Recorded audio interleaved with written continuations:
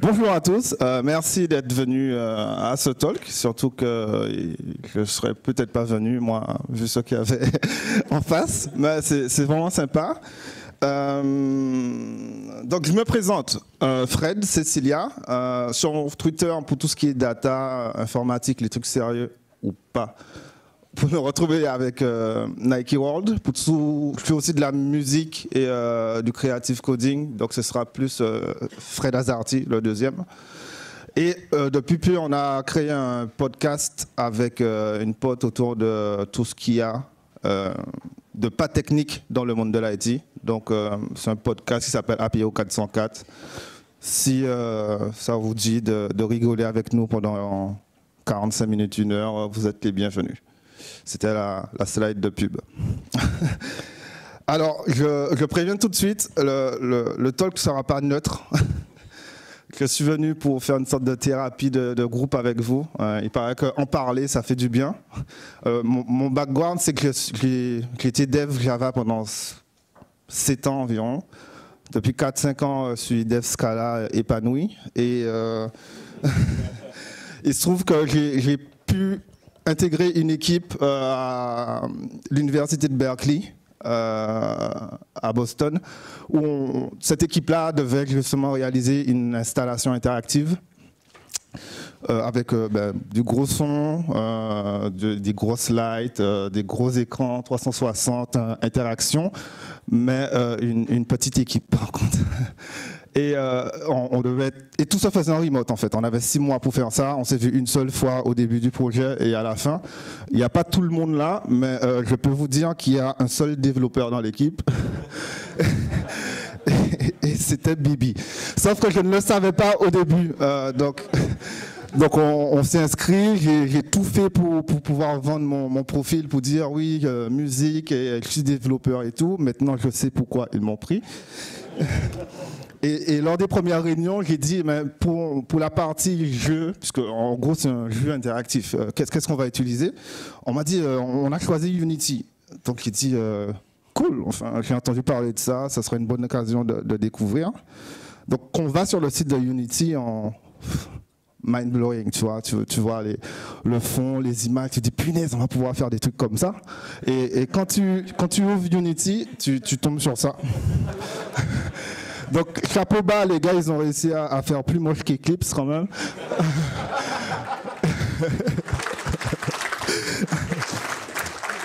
Euh, et, et, juste pour montrer que je déconne pas, hein, c'est, euh, c'est pas, j'ai pas fait exprès, euh, c'est, clairement ça en fait. Hein. Alors, tout de suite, ça, ça fait moins moins wow, mais on se dit, bon, allez les gars, on va y arriver, si d'autres l'ont fait, il n'y a pas de raison. Alors, juste pour vous montrer un peu Unity, à quoi les différents, c'est l'écran principal, vous allez passer tout votre temps là-dessus en fait. Donc ici, c'est euh, le monde euh, que vous allez pouvoir découvrir euh, sous tous les angles, qui est infini. Et, et, ça, c'est ce qui va apparaître à l'écran en réalité. Donc tu peux te déplacer pour, pour voir les détails et voir ici qu'est-ce qui se passe. Ici, c'est la hiérarchie qui correspond à tous les objets que tu verras dans ta scène. Alors, je vais vous faire quand même un truc euh, un tout petit peu euh, plus animé. J'ai bien dit un tout petit peu, j'ai un cube. Donc. je me retrouve avec ce cube-là, et ce cube-là, c'est mon legacy cube qui est ici. Et si je vais sur le cube, je retrouve euh, les, les, éléments qui constituent le cube. Alors, ce qui est super fun, c'est que c'est très clic. Certains ont vu l'ironie. mais, mais euh, alors, on, voit toutes les transformations. Donc, si je déplace l'objet directement, si je déplace l'objet directement là, on voit qu'à droite, il y a mon X qui, qui, évolue. Et évidemment, je peux faire exactement la même chose ici, euh, et, il évolue. Et là, c'est tous les composants qui, correspondent à mon cube. Euh, je vais rentrer un peu plus dans les détails là-dessus, mais en, en, gros, Unity, vous allez passer du temps sur euh, tiens, mon cube, il est là. Ah, sur mon écran, il apparaît là par rapport à la caméra. Et voilà les caractéristiques de mon cube. Et ici, c'est tous les codes, euh, tous les objets 3D que vous aurez besoin pour pouvoir faire votre, votre jeu. Donc euh, Unity, en deux minutes, ça, ça fait ça. Donc c'est moins sexy que sur le site, mais c'est fonctionnel. fonctionnel aussi au, sens ça fonctionne. Hein. Soyons clairs. Par contre, un, truc qui est fun avec Unity, bon, je crache là-dessus pour, la rigolade, mais un truc qui est super fun, c'est que euh, la partie code qui est dans Unity, une particularité, c'est que tout ce que vous déclarez dans votre code comme étant public ici, va apparaître dans l'éditeur que je vous ai montré tout à droite comme étant des champs que vous pouvez modifier là. Et, ça se met à jour automatiquement. Donc je rajoute un champ, je passe sur mon, Unity, et il rame un tout petit peu, et ensuite il me fait apparaître mon champ que je peux paramétrer ici. Alors les champs, ça peut être des champs très simples comme des int, des, euh, des floats, des textes, blabla, mais ça peut être aussi d'autres objets donc je peux lui dire, euh, j'ai cette light-là et j'ai un code qui, doit allumer, éteindre la lumière. Je définis que j'ai une light ici et boum, je peux faire passer la light de ma scène directement sur, euh, euh, dans, dans l'éditeur de Unity. Ça a des avantages, surtout lorsqu'on veut voir en real time, hein, puisqu'il y a un mode run en real time. Dès que je veux run mon application, je peux voir des modifications en direct de la couleur, de ça, de ci. Je peux rentrer en debugger, voir les interactions. Donc derrière le côté euh, très clic, il y a quand même du bon code derrière qui est, qui est en place et une bonne opportunité de s'amuser à regarder directement les, conséquences sans avoir un, je dois compiler, lancer, arriver au bon endroit. Et dans Unity, comme tout est décomposé en scène, donc je peux rentrer dans la scène que je veux, voir les interactions, passer à une autre scène. Donc ce n'est pas un tuto Unity, mais euh, en gros, il fallait que je vous explique ça pour comprendre un peu la suite. Donc Unity utilise comme langage de programmation principalement actuellement C Sharp. Il y a eu des trucs avec du JavaScript, avec d'autres langages, mais là ils sont vraiment focus C Sharp. Et euh, dès que je vois ça, comme bon informaticien qui, s'intéresse au monde, je, vais sur Wikipédia. Et Wikipédia nous montre un peu un langage multiparadigme euh, avec orienté objet et du fonctionnel et générique. Je me suis dit, c'est ce cas-là, tu vois. C'est un petit peu les mêmes mots-clés. Surtout que je vois euh, langage fonctionnel, donc je me dis, OK, ben, ça devrait être assez drôle. Alors, je connais le piège un peu des, des, solutions où ils te donnent tout. On te dit, ouais, c'est une version de C Sharp, mais parfois, c'est des versions qui datent d'il y a trois ans, des choses comme ça. Là, pour ceux qui connaissent pas C Sharp, là, c'est plutôt une bonne nouvelle. Ça veut dire que les gars, ils sont euh, presque à la dernière version, en fait. Donc, toutes les dernières fonctionnalités au mode fonctionnel, je les aurai. Donc, je me suis dit, euh, cool, on va commencer. Il y en a qui ont déjà fait du Unity ici? Ah ouais, donc je peux pas trop cracher, en fait. D'accord? Euh, des gens qui ont déjà fait du processing ou euh, Arduino? Ok, d'accord, euh, c'est les mêmes en fait. Alors, dans tout ce monde-là, en général, creative coding ou bien les, jeux vidéo de ce genre-là, c'est toujours la même chose. On a une méthode start qui est lancée la première fois qu'on lance l'application, donc qu'on utilise pour l'initialisation de tout, et la méthode update qui est appelée à chaque frame ou à chaque euh, X ou seconde ou en fonction de ce que vous faites. Mais dans, le cas du jeu vidéo, c'est ça. Et ça, c'est la, classe, enfin, les classes de base en fait. C'est que je fais une classe qui, euh, qui est en monobehavior, j'ai mon start et j'ai mon update qui sera appelé tout le temps. Et la, grosse, les gros problèmes de perf que tu peux avoir, c'est le code qui sera appelé là parce que c'est à, chaque frame. Si, tu fais un call euh, rest qui prend une seconde à chaque fois, tu n'auras pas de bonne perf. faut pas s'attendre à grand chose. Donc ça c'est le squelette et on sait que c'est avec ça que je serai obligé de travailler. Euh, donc moi ce qui m'a choqué, enfin m'a choqué, ce qui m'a fait un peu pleurer au début, venant de ce cas-là, c'est que je, suis revenu avec les, points-virgules à chaque fois. Donc évidemment, j'en oubliais tout le temps. Euh, les returns, euh, ben, c'est la même chose. Je disais, mais pourquoi ça compile pas euh, C'est une ligne? ouais, mais il manque un mot. Voilà. le problème, c'est le, côté orienté objet for the win. Lorsqu'on a passé cette phase-là et que tous les exemples qu'on retrouve vont dans cette direction-là et que tu te dis, oui, mais on pourrait plutôt le faire comme ça si j'étais en ce cas-là c'est une très mauvaise idée de réagir comme ça. Vous vous limitez vous-même en fait. Donc il faut juste l'accepter, pleurer comme moi, faire le deuil et y aller. Et le pire, je pense, qui m'a tué, c'est l'effort Inception. C'est l'effort dans l'effort dans l'effort. Ça, j'avais oublié ce que ça faisait et c'est, ça m'a vraiment un peu traumatisé. Et je me suis dit non, frère, c'est pas possible. Mais, mais, mais, c'est écrit dans Wikipédia que c'est un langage fonctionnel, donc on va y arriver. Donc, c'est parti. Donc, en regardant encore Wikipédia, on me dit le côté fonctionnel, c'est à partir de C 3. Là, on est C 7. Tu te dis, les gars, ils ont eu le temps de, mettre les monades et tout, ça va. Le, premier lien qu'ils trouvent, que, je trouve sur, euh, le côté fonctionnel, je regarde l'heure parce que je raconte plein de bêtises qui n'étaient pas prévues, euh, c'est Link. Donc, Link, c'est permet d'avoir une extension qui nous permet de faire des, requêtes un peu SQL-like sur tout ce qui peut être source de données. Donc ça peut être un array, une liste, une base de données, euh, ce que vous voulez en fait. Mais il y a une API qui est unifiée et qui est très simple à lire en fait. Hein. Donc la partie query en tout cas, c'est euh, fort euh, quelque chose dans ça, where, si vous savez faire du SQL, vous savez faire du link en fait ça, je me suis dit, bon, ben, c'est plutôt euh, sexy comme façon de faire les choses. Ça fonctionne sur n'importe quelle source de données en plus. Il y a aussi dans Link les méthodes qui, se rapprochent plus de ce qu'on connaît, sauf que bon, ben, c'est plutôt que, certains maps ou des choses comme ça. À place de map, on aura select, à, place de filter, on aura where. Mais euh, dans, l'idée, euh, le, comportement est fonctionnel, un peu comme ce qu'on connaît en fait. Donc jusque-là, j'étais plutôt assez confiant. Je regarde, euh, normal, est-ce que, les, fonctions, c'est une blague euh, comme des interfaces ou ce sont de vraies fonctions? Ce sont de vraies fonctions. Donc là, j'ai quatre façons différentes de pouvoir exprimer une addition. Euh, de la partie, la façon la plus gentille à la façon la plus barbue. Mais, les quatre font la même chose. J'ai le code, si vous voulez vérifier. Ça, fonctionne, ça se lit, c'est fonctionnel, ça, ça cause aucun problème.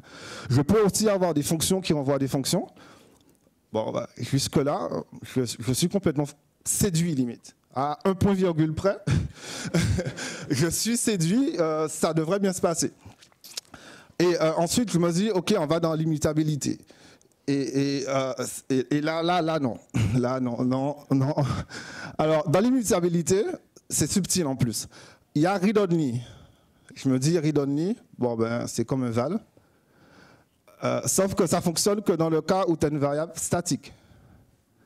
Donc, mon code ici, là, euh, euh read only what the fuck, là, ça compile pas, ça. Mais si tu es dans un code, dans ta méthode, tu as const. Mais const fonctionne qu'avec les types primitifs. Donc si tu crées ta propre classe et que tu veux pouvoir juste dire que ben, c'est un val, c'est pas possible. Et au début, je me suis dit que c'est moi qui suis idiot. J'ai fait une petite dépression pour finalement réaliser que c'était juste pas possible, que j'étais pas le seul à poser la question en fait. Donc là, je l'ai un peu mal pris. Et surtout que, en regardant ensuite, c'était tout. C'est-à-dire euh, options ou des, des ou des Non, il n'y a, a, pas ça. On t'a donné le côté fonctionnel, deal with it. donc, évidemment, moi, j'en voulais plus. Donc, j'ai commencé à aller dans les tréfonds euh, de, c'est-à-dire GitHub. Et, j'ai trouvé euh, une librairie qui s'appelle Langage Ext. La subtilité, c'est que moi, j'ai commencé à essayer, j'ai découvert C Sharp via Unity. C'est un peu comme les gens qui découvrent euh, Scala via Spark. Ça, c'est fait. euh, et en réalité, il faut juste revenir à la base, en fait. Si, tu commences à juste chercher dans la communauté C Sharp, tu as des gars qui sont vraiment pour la programmation fonctionnelle et qui essaient de faire les choses au mieux. Et Unity, ils n'en font pas. C'est des gars sérieux qui font des, des, vrais, des vraies applications pour, pour des, des banques et des assurances. Et, et j'ai trouvé ce truc-là qui est l'équivalent d'un CATS ou d'un Scalasi pour C Sharp. Alors, de un, moi, j'étais content. Enfin, j'ai eu deux révélations là. Je me suis dit, c'est cool parce que la programmation fonctionnelle, quel que soit le langage, maintenant tu peux trouver quelque chose. Ma deuxième révélation, c'est que les gars, ils sont beaucoup moins bons en nom qu'en nous. Tu vois, nous, on a CAT, Scalasi et langage Ext. ça, ça, ça va un peu. Bon, c'est pas grave, hein on n'est pas là pour juger, même si on le fait beaucoup. Euh, ça utilise beaucoup les extensions, les extensions, les méthodes, enfin les extensions de méthodes de, classe en fait. C'est un peu comme euh, rajouter des méthodes sur des, types alors qu'on n'a pas défini le type. C'est ce qu'on fait en Scala très souvent avec les euh, implicites classes, blabla. Euh, dans C Sharp, c'est beaucoup plus simple à implémenter. Il n'y a pas de, de, autant de cérémonies à mettre en place. Et beaucoup de choses que je vous ai montrées dans Link, c'est utilisé, mais à fleuron. Même ils le, disent, on utilise ça et ça, mais à fond. Et le GitHub, il est là. Franchement, ça a été peut-être mon, mon, moment préféré de, de, de quand j'ai découvert ça. Jusqu'à ce que je l'utilise. Alors, au niveau des listes, au niveau des listes, euh, on retrouve du coup notre famille, hein, euh, map, filter, fold avec les lambda. Euh, là, on, retrouve, on, retourne à la maison en fait. On retrouve des options. Punaise, le nombre de différents nuls que j'ai pu enlever quand j'ai pu intégrer cette librairie. Et, et, je trouve, je trouve l'écriture, l'équivalent for yield, mais sexy, mais à fond quoi. Là, c'est l'équivalent de for yield qu'on aurait en, en, ce cas-là. Et il utilise justement ben, la notation qu'on avait dans Link pour pouvoir le faire. Et ça fonctionne évidemment avec tous les types monadiques, try, euh, options, enfin tout, tout ce que je pourrais montrer aujourd'hui. Euh, donc l'équivalent d'un flap map et de maths suivant. Donc jusque-là, franchement, pour moi, euh, ça, semble tout bête, hein, mais quand on parle de je ne vais pas y arriver et on découvre ça et on se retrouve un peu plus à la maison, c'est comme mettre une photo de ses enfants à côté de, son poste au, travail. On se sent beaucoup mieux. Donc on peut sur les options avoir des méthodes euh, si c'est nul pour pouvoir envoyer quelque chose par défaut. On peut avoir un comportement euh, si c'est somme pouvoir faire quelque chose qui renvoie unit. Ah oui, aussi ils ont ils ont intégré l'objet unit parce que ça n'existe pas dans C Sharp. Donc c'est amusant parfois on obligé de renvoyer unit nous-mêmes parce que parce que voilà. on a try, euh, try qui, permet de, de, catcher, enfin de récupérer l'exception si ça s'est mal passé ou la valeur. Et dans le type, on sait déjà si ce truc-là peut péter ou pas et quel type d'exception peut balancer. On peut matcher dessus. Euh, de cette façon-là pour pouvoir envoyer une valeur. De cette Pourquoi j'ai fait ça comme ça encore? Ah oui, oui, la différence entre là, oui, soit on peut utiliser la méthode match qui, euh, qui, est dans, qui est dans le scope, qui est, qui est intégré via un import, soit on peut l'appeler directement aussi sur, euh, sur l'objet pour que ça puisse renvoyer une valeur, ou alors on peut récupérer, euh, genre je suis à la fin de, de l'exécution de quelque chose et je veux juste afficher l'exception ou, afficher ma valeur. Donc ça, c'est plutôt cool. Évidemment, une fois n'est pas coutume des illusions, je, je cherchais l'équivalent des case class. Euh, donc, case class, j'écris une ligne, mes, mes, mes, nom, prénom. Je peux faire un copie là-dessus euh, et mettre le comportement ailleurs. Alors, ça, c'est l'équivalent euh, d'une case class. J'aime bien parce que moi, j'ai fait l'inverse. Avant, je montrais, tu vois, tu as 100 Java et, et, maintenant, tu fais juste ça. Et, là, c'est ridicule parce que c'est l'inverse, en fait. Bon, bref.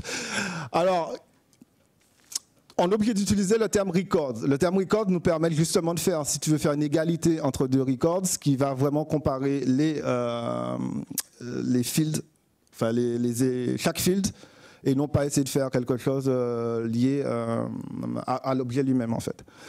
Donc bon, ça fait écrire un peu plus, mais l'écriture forme la jeunesse. Je me dis c'est pas un problème. Jusqu'à ce que j'arrive à l'équivalent d'un copie. et là, il me dit, il faudrait que tu fasses quelque chose comme ça. C'est-à-dire, tu mets tout à nul par défaut. Et, tu dis, bon, si, j'ai quelque je vais créer une nouvelle personne, si j'ai quelque chose, euh, ben, je le mets, sinon, c'est pas grave. Et, là, non, non, c'était trop. On était bien parti. Et, je dois faire en plus euh, mon copie moi-même et mettre des choses à nul, ce que je voulais essayer d'éviter au maximum.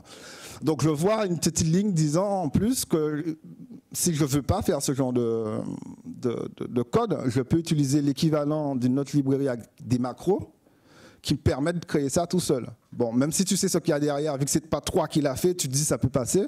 Sauf que j'ai jamais réussi à pouvoir utiliser la deuxième libre. J'ai perdu une journée à essayer de la faire fonctionner dans mon projet. Et, et j'ai pas eu de chance là-dessus. Donc, je, me retrouve à devoir faire ça euh, manuellement sur, sur mes datas pour avoir euh, des cases classes. Je ne vais pas vous faire le tour de toute la librairie, ça, sera un peu trop long. Mais vous allez trouver tous vos euh, tous des, copains que vous connaissez et bien d'autres choses dans cette librairie-là. Donc, si vous devez faire du Unity encore et que vous voulez avoir des, data types et des choses un peu funky, je ne peux qu'encourager d'utiliser cette librairie. Alors évidemment, beaucoup vont me dire, mais Fred, euh, F-sharp, mec, F comme Fred, quoi, tu vois.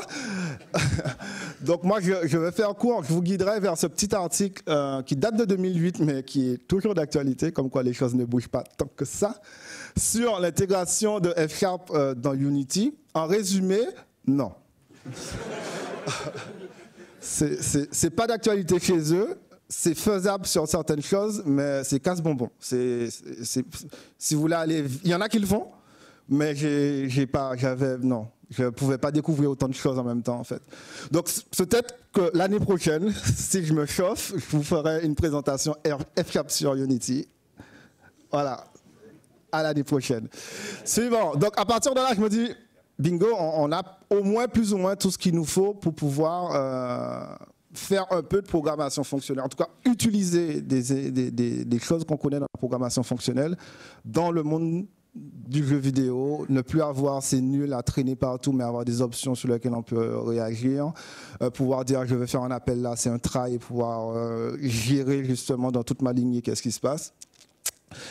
Et en faisant encore des petites recherches euh, sur Google, je tombe sur un mec qui dit mais ECS dans Unity, est-ce que c'est pas de la programmation fonctionnelle sans limitabilité Alors moi j'ai lu le titre trois fois.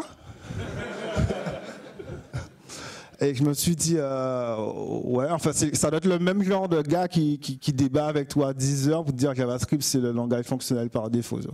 Donc, je me suis dit, de un, euh, c'est intéressant parce qu'il y en a qui poussent beaucoup plus le délire que moi. Et de deux, c'est quoi cette histoire de ECS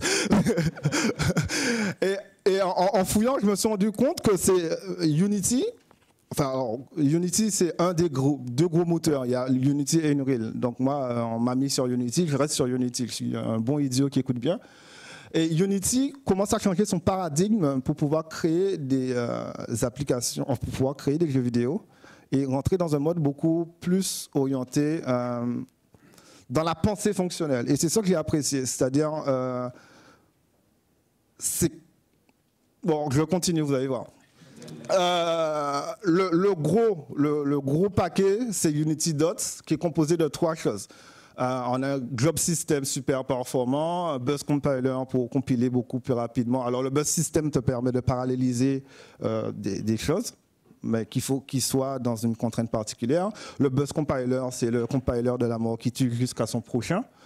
Et notre fameux ECS, là, qui est pour Entity Component System.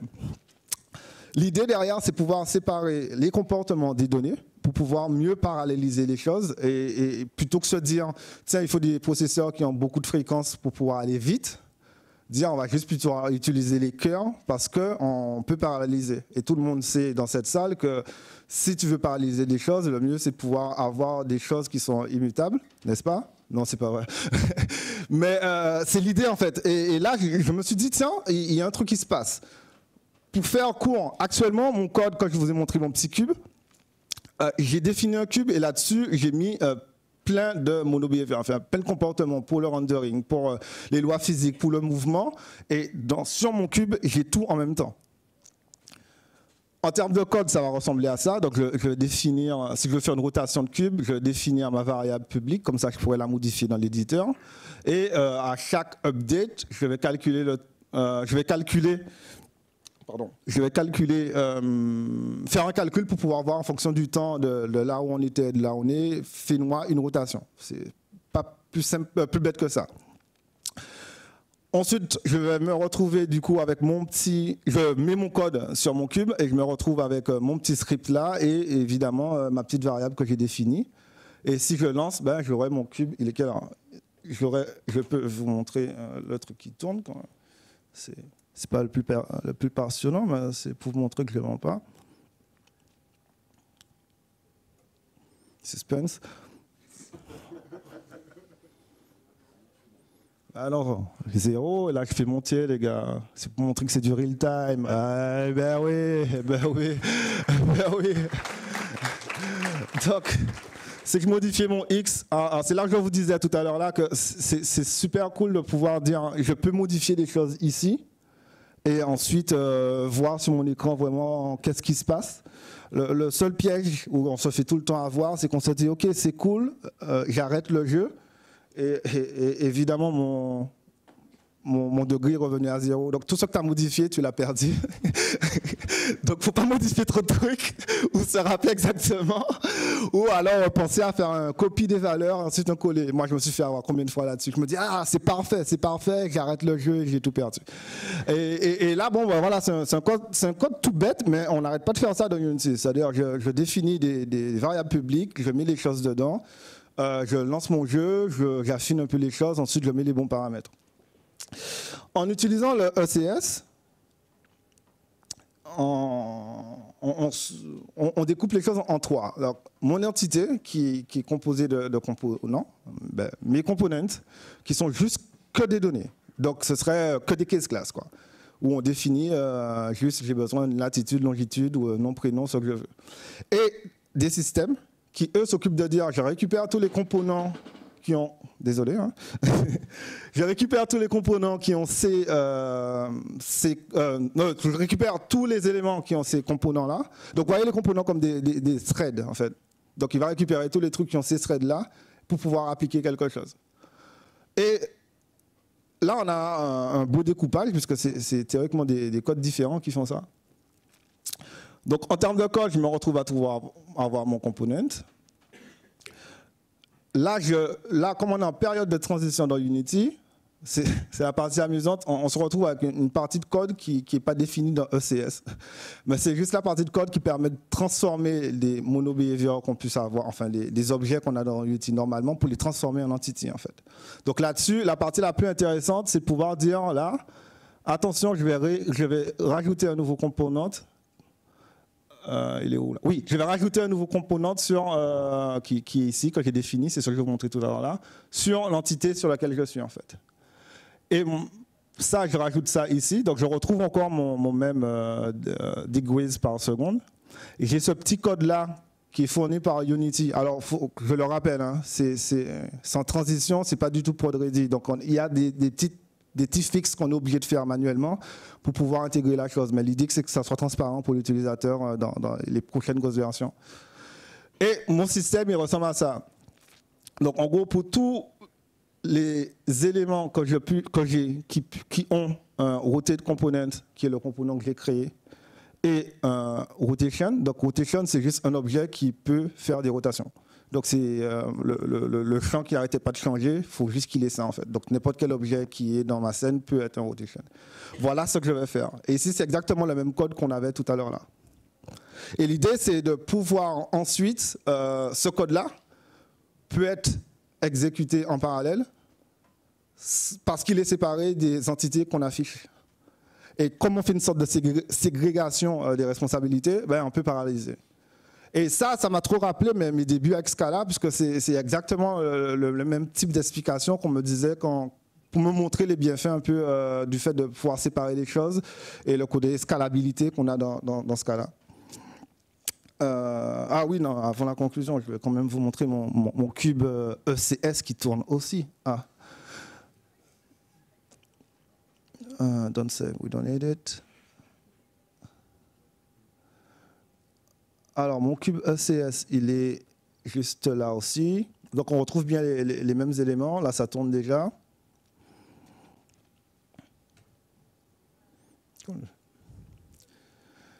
Et mon, cube, il tourne de la même façon. Alors, je ne vous ai pas montré, puisque bon, il y, a des vidéos avec des, des démos beaucoup plus impressionnants qu'un cube qui tourne. Mais il y a eu des stress tests qui ont montré que avec l'ancienne méthode, il mettait genre 1000 euh, éléments, l'appareil commençait à souffler. Et avec cette version-là, il pouvait monter à 100 000 et le truc, il était tranquille. Parce que justement, on utilisait l'architecture de nos, ordinateurs maintenant euh, beaucoup mieux qu'en euh, mode ben, mono-thread. Et les deux peuvent quand même cohabiter, c'est important de le, dire quand même. Parce que là, le, cube blanc, c'est mon ancien legacy et le cube rouille, c'est mon, euh, c'est mon nouveau. Donc le but, c'est pas forcément de tout passer en ECS, en tout cas pas tout le monde, pas tout de suite, mais avoir cette phase un peu de transition où tu veux de la perf, tu veux mettre beaucoup d'éléments, euh, tu es en train de construire une ville par exemple, clairement c'est les, les, grosses villes qu'on veut avoir avec pas mal d'objets modelés 3D, avec en plus des calculs sur la lumière et tout ça. ECS, c'est clairement le fun parce qu'en termes de perf, ben, tu t'amuses sans forcer en fait. Ensuite, si tu fais des petits jeux un peu comme moi actuellement, bon, ECS, c'est la Porsche dans, dans, les embouteillages parisiens, quoi. ça ne sert pas à grand chose. Alors, je crois que je suis pile, pile dans les points, oui, pile poil. Euh, en conclusion, en conclusion, faire de la, utiliser des, médiums de la programmation fonctionnelle dans, Unity ou dans un moteur de jeu, c'est faisable actuellement. Ça coûte un peu cher sur certaines choses parce que lorsqu'on est euh, purement euh, fonctionnel, tout ça, je ne le suis pas, donc je le vis mieux maintenant. Mais clairement, on peut utiliser des options, rien que utiliser des options, pouvoir utiliser des fonctions, pouvoir avoir des fonctions qui renvoient des fonctions pour pouvoir décrire des comportements, c'est faisable. Par contre, vous allez vous sentir un peu seul, parce que la plupart des gens qui utilisent Unity ne pensent pas du tout comme ça. Et quand vous allez récupérer du code, il sera orienté objet, voire impératif à fond. Donc, il faut, juste euh, avoir conscience de ça, que euh, la communauté des gars fonctionnels côté C Sharp est une niche, et là, c'est une niche de niche. C'est, Mais c'est complètement faisable, votre code sera mieux. En termes de perf, vous perdez pas grand-chose, parce que de toute façon, vous pouvez pas, enfin, il n'y a pas de ZIO euh, Unity là, tu vois. peux pas mettre la main sur grand chose à, ce niveau-là. Par contre, utiliser des data types, utiliser des, choses, enfin, des, choses de base de la programmation fonctionnelle pour pouvoir améliorer la lisibilité de ton code, la maintenance de ton code, c'est complètement faisable. ECS, moi, c'est le truc à regarder de près, euh, surtout parce que Unity, c'est un gros, c'est un des deux gros. Si Unity se lance là-dedans, automatiquement, ce truc-là va être mainstream. Et mine de rien, dans la façon de penser, les gens qui font du jeu vidéo maintenant, ils sont perdus. Par contre, les gens qui sont dans cette salle, théoriquement, devront se retrouver comme des poissons dans l'eau, parce que mine de rien, dans la façon de penser, c'est exactement la façon dont on pense notre code lorsqu'on essaie de faire les choses, en général en tout cas. Donc, si vous voulez tester, Unity c'est gratuit, euh, la librairie euh, dont j'ai parlé est gratuite aussi, et je pense n'avoir rien oublié. Merci beaucoup.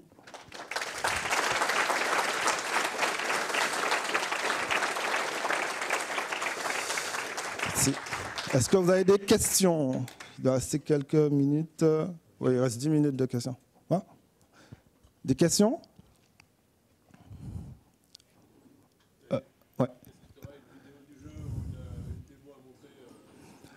Ah, euh, quoi fait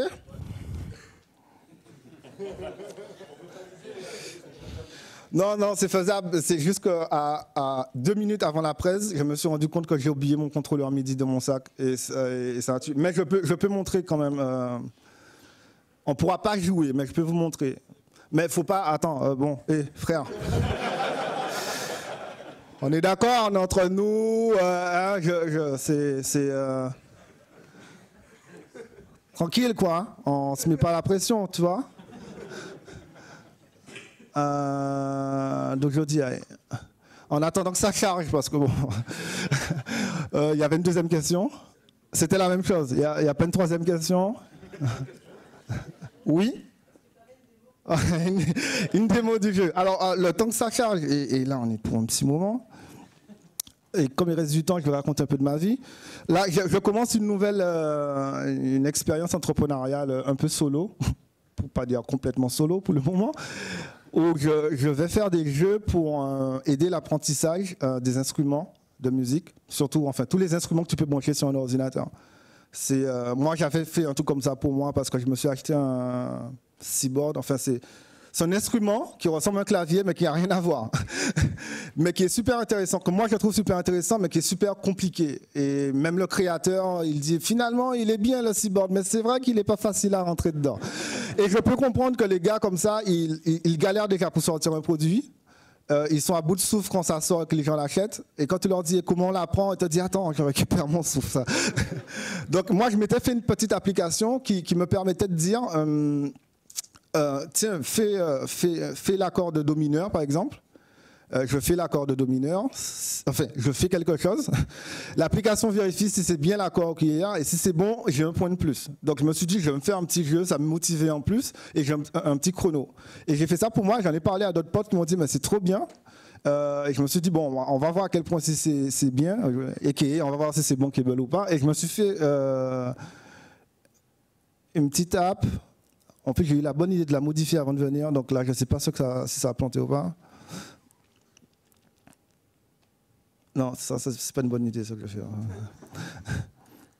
Non, on va faire mieux que ça. Théoriquement, dans Fred, je dois avoir un truc, au moins, je dois avoir ça. Voilà, ça va faire mieux. Parce que j'allais vous montrer dans l'éditeur, mais il n'y a pas d'intérêt. Alors euh, là, c'est le premier écran où je, définis, euh, si j'ai branché mon, instrument, il doit apparaître. Là, je n'ai pas grand-chose. Et euh, là, je peux définir, par exemple, si je veux m'entraîner sur découvrir où sont les notes sur, sur mon, instrument, ou faire des, accords majeurs ou des accords mineurs, ou, ou les trois en même temps. Parce que quand on fait de la musique, on est d'accord qu'il y a aussi bien des accords majeurs que mineurs. Lorsqu'on apprend avec les cycles, tu deviens juste un expert des cycles. Et le but du jeu, c'est de pouvoir dire à son cerveau, je peux switcher d'un truc à l'autre dès que j'ai l'information. Donc ici, tu peux sélectionner si tu vas travailler la main droite et la main gauche. Pourquoi? Parce que le but, c'est de récupérer des données. Et ensuite, moi, le prochain entraînement, je peux te dire, tu as des difficultés ici on va faire plus ça pour pouvoir te faire monter en progression. Et comme on a les données, ben, tu peux voir ta progression et dire, euh, il y a une semaine, ça prenait 10 secondes pour faire ça, maintenant une seconde, euh, je suis meilleur. Donc ça permet d'avoir un feedback automatique. J'ai l'impression de vendre ma boîte. un feedback automatiquement, euh, un, feedback gratuit sur ton évolution sans avoir deviné est-ce que je m'améliore ou pas. Là, on a vraiment des, vraies choses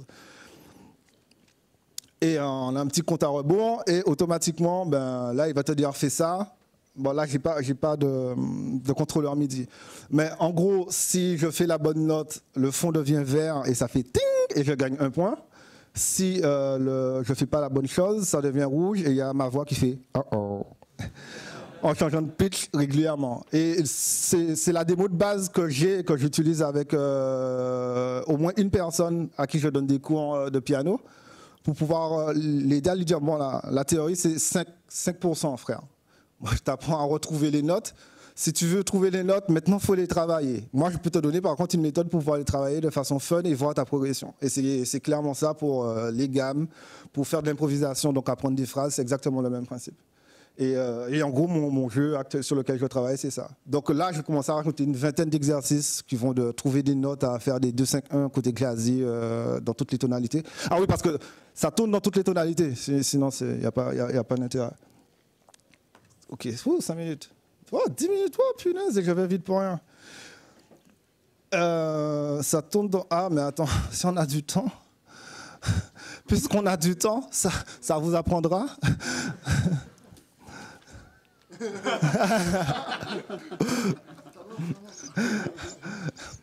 Puisqu'on a du temps, nous allons parler de Dojo Donc, je m'appelle Fred Cecilia. Euh, le matin, je suis data développeur et le soir, je fais de la musique.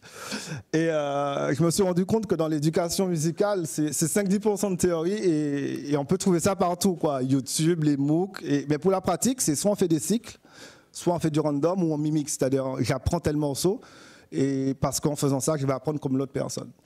Le, gros problème, c'est que quand on fait des, cycles, on devient des, spécialistes des cycles. Euh, et ça, c'est ma slide préférée. C'est euh, mon invention, c'est ça que j'appelle l'hot dog training. C'est-à-dire que lorsqu'on est tout seul, on se dit, ben c'est ça que j'expliquais tout à l'heure je vais faire un, fais un domineur, je suis l'enseignant qui dit de faire quelque chose, je switch pour être l'étudiant, je fais quelque chose, et ensuite, euh, je dois vérifier que ce que j'ai fait, c'est bien un domineur on, appelle ça des, des switches cognitifs. C'est exactement le même switch que quand tu es en train de travailler, quelqu'un te dit Excuse-moi, je peux te déranger? Et oui, et ensuite tu reviens et tu sais plus où est-ce que tu en étais. Et ça, si tu fais 40 accords, ben, tu as 80 switches. Donc c'est pas du tout performant. Donc moi je dis pas que j'ai un truc magique, je dis simplement que par loi naturelle, si tu fais moins de switches, tu seras meilleur. C'est pas très compliqué. Euh, c'est ça que j'expliquais. Euh, les mimiques, oui, alors parfois tu peux jouer un morceau, mais beaucoup de personnes savent jouer, des morceaux, mais quand il faut jouer avec d'autres personnes sur quelque chose qu'ils n'ont pas appris, ils sont perdus. Donc le mimique ne résout pas tous les problèmes. Le mimique peut t'aider si tu étudies vraiment les patterns. Euh, blabla, j'ai déjà dit tout ça, je vous ai montré le jeu, donc ça c'est avec les accords. et le but c'est vraiment se focaliser sur ce qu'on veut, ne pas être un expert sur, sur les accords. Euh, pouvoir monitorer sa progression, et je pense que c'est la clé là-dessus. avoir une, intelligence artificielle, enfin, au, sens, euh, l'ordinateur t'aide à travailler sur, sur les, tes faiblesses et non pas de façon juste random. Avoir du fun, rester motivé et mort. Si vous êtes intéressé, surtout que euh, là je vais lancer une vague de bêta test bientôt, euh, vous pouvez m'envoyer un petit lien, un petit mail si vous voulez rentrer dans la vague de bêta test ou passer me voir tout à l'heure, je suis là toute la journée. Et là je pense que c'est bon là. 5 minutes pour les questions. Avez-vous des questions? Tu as mentionné tout à l'heure que le framework fonctionnel pour, pour ces chartes ouais. Ouais. Avec le nouveau pattern OCS qui est en place. Ouais. En mentionnant que l'autre partie c'était du Legacy. Combien de temps pour toi ça va prendre passer jusqu'au Alors, je répète la question. J'ai parlé du, du, de ECS, de la façon legacy de faire et du ECS. Euh, combien de temps, selon moi, que ça va prendre de passer d'un à l'autre? Je pense que l'un ne va pas remplacer l'autre. Je pense qu'il y aura une intégration plus fine du deuxième, avec beaucoup d'évangélisation pour dire euh, passez par là si vous en avez besoin, c'est mieux. Ça va pas se faire en cas sur euh, Python 2, Python 3, tu vois. Ça va vraiment se faire progressivement et je suis même pas sûr que ça va disparaître parce que tous les jeux n'ont pas besoin de ECS actuellement. Mon jeu, par exemple, là, à part pour le fun, tu vois, il n'y a pas de raison vraiment que le fasse pour un ECS.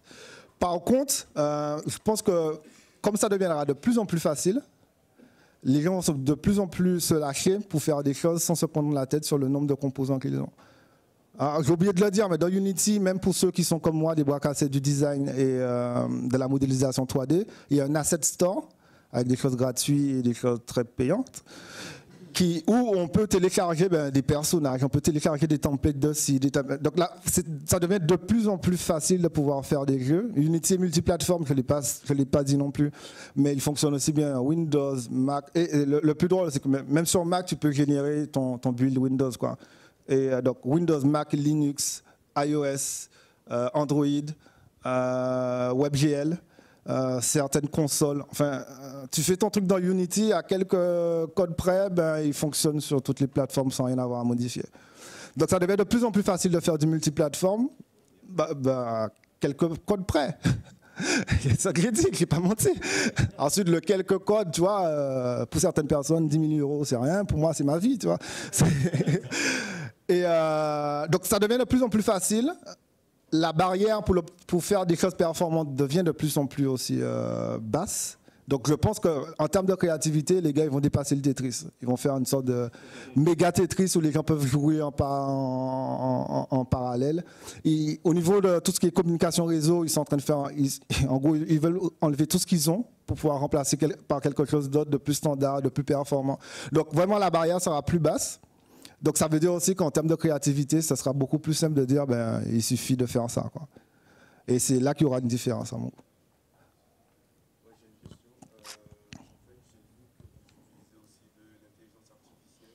oh là. Oh là. euh,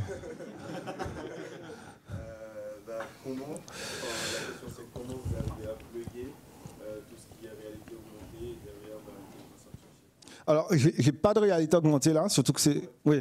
Alors, la partie intelligence artificielle, elle, est toute bête. C'est-à-dire comment faire en sorte de pouvoir te proposer des choses où tu es nul sans te frustrer?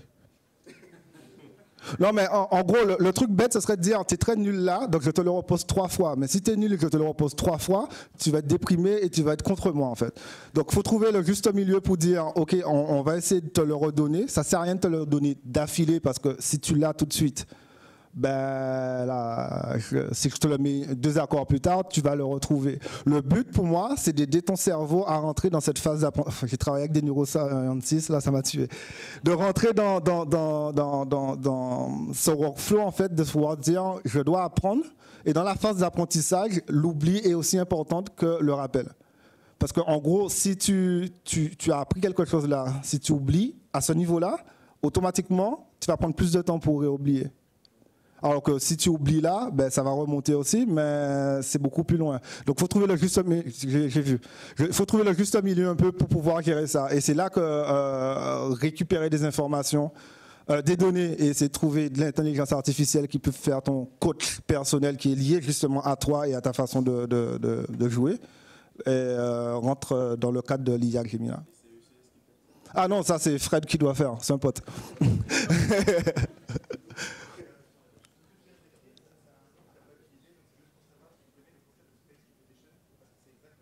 Space to position? Space to... Euh, oui, oui, oui, oui. Enfin, euh, oui et non. en fait, quand, on parle de space to repetition, très souvent, on parle surtout dans le temps. Donc, c'est un peu comme le système des flashcards, en fait. C'est ça. Le problème, enfin, pas le problème. Moi, ma difficulté, c'est que la flashcard, c'est que tu vois, euh, genre, la capitale de la France, c'est Paris, ok? Tu mets ça et tu reviens deux jours plus tard. Moi, moi, moi, c'est en, seconde qu'on discute. Parce que c'est pendant le, processus euh, des trois minutes qu'il faut que je vois quand est-ce que je peux te quand est-ce que es prêt à le, quand est-ce que ton cerveau est prêt à le recevoir. Alors ça peut fonctionner aussi bien dans les deux, mais théoriquement c'est le genre d'exercice que tu es obligé de faire régulièrement, mais euh, workout, hein, c'est comme les pompes, quoi. Si tu fais des, pompes euh, une fois par semaine, c'est pas la même chose que si tu fais trois fois par semaine. Là, c'est le même principe, en fait. Donc, c'est en partant sur ça, justement, que je me suis dit, tiens, il y a un truc à creuser pour pouvoir aider notre cerveau à apprendre, même dans la répétition immédiate, mais trouver le bon moment pour pouvoir te mettre les points faibles. D'autres questions? Oui Non, pas toi. je rigole. Euh, non, au contraire, mon premier projet Unity m'a dégoûté parce que j'avais honte de mon code, disons-le clairement. Mais mon, pour, mon deuxième projet, j'avais besoin de créer un jeu vidéo et je ne voulais pas utiliser. un j'avais besoin de faire du multiplateforme, je voulais avoir des vrais composants de jeux vidéo et non pas juste de la gamification. Donc, je voulais avoir vraiment des, des bruitages, je voulais pouvoir avoir des. Euh, ah oui, j'ai pas dit, mais quand tu fais bien, tu as des sortes de petites étoiles qui montent, qui font Oh, c'est bien, bien. Et, et, si je devais l'implémenter moi-même, ça servait à rien. J'utilisais pas le bon outil. Moi, il me fallait vraiment un moteur de jeux vidéo parce que mon but, c'est de faire des jeux vidéo pour, euh, pour des musiciens. Donc à partir de là, tu n'as pas trop le choix. C'est plus au C Sharp ou euh, enfin Unity Unreal et j'avais déjà l'expérience Unity, donc je continue. J'ai juste essayé de voir comment je peux euh, limiter euh, mes, frustrations sur certaines choses en utilisant ben, la librairie entre autres que je vous ai montré. Pas d'autres questions? Une fois, deux fois, trois fois? Merci beaucoup à tous. Merci.